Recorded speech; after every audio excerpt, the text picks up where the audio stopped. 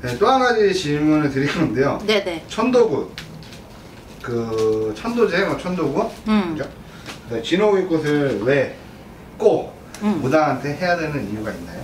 일단은 한양 전 한양굿이라는 거는 서울 사대문 성안에서 왕들이 하던 굿이에요. 네. 그리고 그거는 우리나라 무형문화재로 해서 지정이 되어 있는 굿이고 세남굿에서 세남굿은 1박 2일 동안 하는 굿인데 그 중에서도 하나는 제수굿 하나는 진욱이 굿이라고 해서 그 중에 하나가 이제 뭐 조상님들을 좋은 곳으로 천도해주는 그런 거야. 근데 이제 옛날에 내려져 오는 전설로 얘기를 하자면 오구대왕 말 그대로 어비대왕이라고 하죠. 왜? 왜 그래?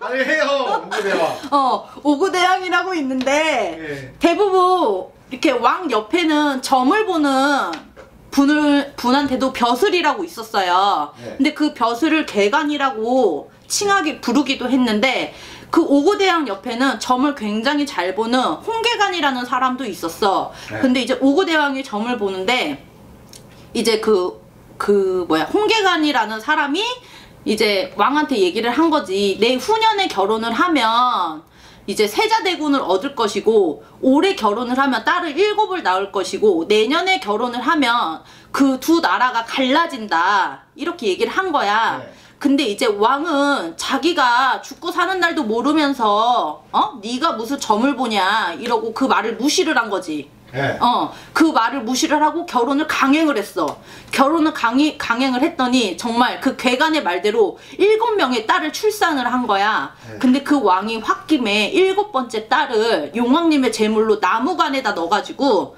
버렸어. 버렸는데 그 나무 함이 거북이 있잖아요. 네. 거북이 등딱지 위에 이제 올라가서 거북이가 부처님한테 데려다 준 거야. 뭔 얘기인지 알아? 네. 어, 열심히 잘 듣고 있지? 네. 부처님한테 해가지고 데려다 줬는데, 잠시만요. 부처님한테 해가지고 데려다 줬는데, 부처님이 한 산 속에 그 노부부, 말 그대로 비리공덕 할미 하랩이라고 해서 그 할머니 할아버지한테 일곱 번째 딸을 데려다 주면서 너가 좀 키워라 라고 얘기를 하고 그 할머니 할아버지가 산속에서 그 아기를 키우면서 이제 그 뭐라 그래야 되냐 키우고 있는 그 찰나에 이제 아기가 일곱 살 되던 해인가? 그때 왕이 왕비랑 이름 모를 병에 이제 걸린 거야. 병에 걸린 거지. 네. 근데 그거는 아기를 버린 죄였어. 그래서 다시 그 왕이 점 좀 봐봐라. 왜 내가 아픈지 이랬더니 그 점사로 버린 일곱 번째 딸을 꼭 찾아야 된다. 그리고 왕과 왕비를 살릴 수 있는 약은 저승에 있는 약류수라는 약인데 그 마- 약을 먹어야지만 살 수 있다. 라고 해서 서둘러 이제 이 왕이 신하한테 시킨 거지. 늙은 신하한테 네. 그 일곱 번째 딸을 찾아와라. 그래서 그 늙은 신하가 평생 내가 이제 나라에 신세를 졌으니 내가 와, 그 일곱 번째 딸을 찾아오겠다. 그래서 왕과 왕비의 엄지 손가락 두 개를 자르고 여섯 명의 딸들의 새끼 손가락을 잘라서 이제 산속으로 딸을 찾으러 간 거야. 딸을 찾으러 갔는데 어느 산속의 초가집에 애기를 담아서 버렸던 그 나무함이 있더래. 네. 근데 거기 나무함이 있어서 거길 갔더니 이제 여자애가 있었던 거야. 그래서 그 여자의 손가락을 잘랐어. 그 여자의 손가락을 자르니까 피는 물보다 진하다라는 말이 있잖아. 그러니까 피가 한 대로 다 모아져서 그 일곱 번째 딸이 그걸 보고 아 나는 진짜 왕과 왕비의 딸이구나 라고 생각을 하고 그 신하를 따라서 간 거야. 궁궐로. 네. 어, 궁궐로 가가지고 왕과 왕비를 보니까 이제 시름시름 막 죽으려고 하는 거지.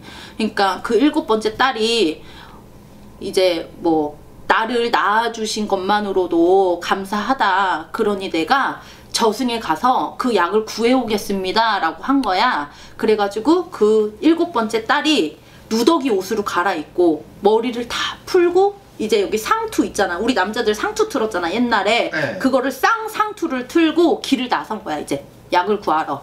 그래서 또 막 가는데 장기를 두는 분하고 바둑을 두고 계시는 분이 있었어. 근데 장기를 두고 바둑을 두신 그 분 중에 한 분은 지장보살이고 한 분은 석가세조님이었지. 그래가지고 그분께서 애기야 너 여기 왜 왔냐 이랬더니 나는 이 나라에 왕의 아들인데 우리 부모님이 병이 너무 위중하여 저승에 약을 구하러 가는 길이었다 이랬어. 그러니까 부처님이 하시는 말씀이 거짓말을 하면 원래는 지옥을 가야 되지만 너의 그 마음이 너무나 이쁘니 내가 저승을 가는 길을 알려주겠다 갈 수 있게끔 해주겠다 해서 이제 그 일곱 번째 딸이 이제 저승을 가게 된 거야. 근데 저승을 가니까 정승 있잖아. 그 우리 정승 뭔지 알아요?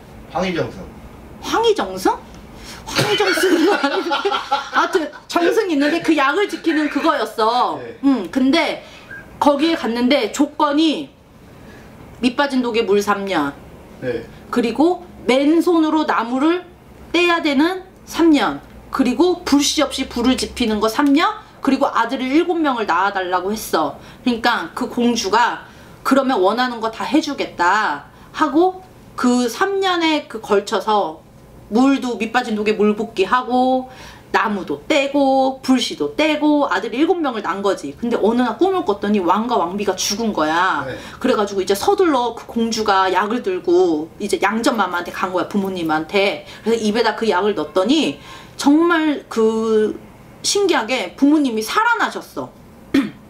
그 부모님이 살아나면서 이제 고마우니까 너의 소원을 이뤄주겠다 라고 한 거야. 어, 그랬더니 그 여섯 명의 딸들이 있었을 거 아니야. 그 여섯 명의 딸들은 그 부모님이 아팠을 때 아무도 안 간다 그랬었거든. 저승으로 약을 구하러 못 가겠다고. 근데 이제 궁궐에 있으면서 시집도 가고 뭐도 하면서 결혼도 했겠지. 애기도 낳고. 그러니까 이제 그 여섯 명의 공주들은 이제 원도 없고 한도 없었던 거야. 근데 얘는 우리 일곱 번째 공주는 결혼을 해서 아기를 낳았지만 식을 못 올렸잖아. 네. 응. 그러니까 결혼식을 못 올려, 그러니까 못해서 머리를 못 올린 게 원과 한이 돼가지고 무난만신 몸주, 그러니까 말 그대로 무당이 되고 싶다고 얘기를 한 거야. 네. 무당이 돼서 저승으로 가가지고 그 약을 구했잖아. 그러니까 사람이 죽으면 극락 세계를 이렇게 인도하는 그런 무당이 되게끔 해달라고 했어. 그리고 부처님의 부처님은 49제 100일제를 할 수 있게 해줘라. 그리고 내가 낳은 7명의 아들은 하늘에 칠성님이 되어 자식 없는 집에다가 자손들도 점지를 해주고 명도 빌어주고 그렇게 되게끔 해달라고 했더니 그러면 너의 소원대로 다 이뤄주시마 한 거야. 그래서 이제 그 일곱 번째 공주는 만신몸주 무당이 되어서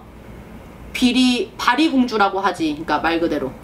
응. 바리공주라 그래서 우리 무당들이 하는 그 천도구 탈 때 큰 머리 쓰잖아요. 쪽두리. 근데 옛날엔 결혼할 때 쪽두리 쓰고 했잖아. 네. 그래서 그게 원과 한이 돼가지고 그 바리공주가 이렇게 아, 큰 머리를 어 그래서. 그 쪽머리 그 큰 머리를 쓰고 그 행위를 하는 거야 도량을 도는 네. 이제 왜 알겠어 그 큰 머리를 쓰는지 어, 네. 어 그래서 여기서 또 하나는 이 이야기 속에는 우리 민족의 가장 중요한 충과 효와 얘가 함축되어 있는 이야기야 네. 이건 네이버에 검색해도 나오는 거고 웹툰으로도 나왔던 이야기라 전설 속의 이야기라 사람들이 쉽게 접할 수 있는 이야기거든 그러니까 우리 무속인 말 그대로 무당들이 하는 굿 중에서는 그냥 뭐 그냥 해대는 게 아니고 다 전통적으로 이렇게 내려오는 이야기고 어 해서 아무튼 그런 거고 말 그대로 천도제, 뭐 49제, 100일제 이런 거잖아. 49제는 사람이 죽어서 49일째 제 되는 날 제를 지내는 거야. 그분을 위한 조상님을 위한 부처님들이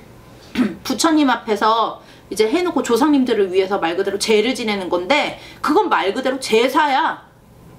제사 제사. 그냥 제사 우리 집에서 지내는 제사 그것처럼 제사야 그 대신 스님이 연불공덕 말 그대로 연불을 드리면서 뭐 좋은 이렇게 해주는 건데 나는 이거는 스님들이 보고서 나한테 뭐라고 할 수 있는 거지만 극락왕생 천도를 하는 뭐 이승에서 저승으로 올바르게 갈 수 있는 거를 하는 거는 무당들이 해야 되는 게 옳다고 봐. 근데 며칠 전에 어떤 손님이 오셨는데 아들이 불에 타 죽었어. 불에 타 어떻게? 호텔에서 불이 난 거야. 네. 어, 호텔에서 불이 났는데 이게 질식사가 돼가지고 말도 안 나오니까 살려달라고 막 이제 물건도 집어 던지고 막 그랬나 봐. 근데 다른 옆방에서는 커플들이 싸우는 줄 알고 문도 안 열어줬었어. 그 엄마가 너무 가슴이 아파서 이 점집 저 점집 다 돌아다니다가 정말 유명한 절에다 제일 좋은 자리에다가 아들을 해놨어. 근데 그 유명한 절의 스님이 그거는 무당이 해줘야 되는 거라고 했대. 그러니까 정말 그 스님이 하신 말씀이 맞아. 근데 대부분의 스님들은 아 천도는 무조건 절에 와서 해야 된다. 무당 뭐 절에서 하는 거다. 또 손님들도 그래. 스님이 이거 하세요. 뭐 조상 뭐 이거 하세요 하면은 아 네 이러고 무당이 이런 얘기를 하면은 뭐 사기꾼 돈 밝기는요. 뭐 이렇게 얘기를 하는데 정말로 옳게 하는 법도는 무당한테서 하는 거지. 나는 그렇게 배웠어. 스님이 나한테 뭐라고 해도 어쩔 수는 없어요. 근데 스님도 전 보러 왔었다 우리 집에. 아 그래요? 응. 스님도 취직을 하는 거더라. 아 스님이 어, 나 깜짝 놀랐지. 머리 깎고 그 승복 입고 와가지고 아저씨 뭐 자리 알아보러 다니냐 그랬더니 취직이 안 된대. 네, 지금 이렇게 돌려 돌려 아 싫어! 하지 마! 진짜 짜증나. 이거 편집해 이거. 어. 먼저 편집해. 아, 돌리지 마 빨리 잘라. 아무튼 끝.